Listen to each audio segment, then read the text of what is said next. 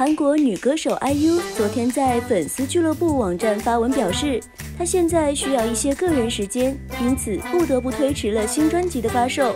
原定二十八日发布的新专辑收录曲目《Love Poem》将推迟到原定的专辑发售日十一月一日公布，而新专辑的发售日期也将相应延后。同时，IU 反复为推迟专辑发售日期而道歉。